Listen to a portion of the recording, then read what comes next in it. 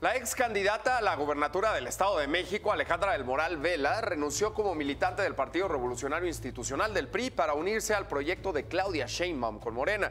Renunció en una carta dirigida al dirigente nacional del PRI, Alejandro Moreno, a quien reclama la falta de diálogo al interior del partido político y a la toma vertical también de las decisiones.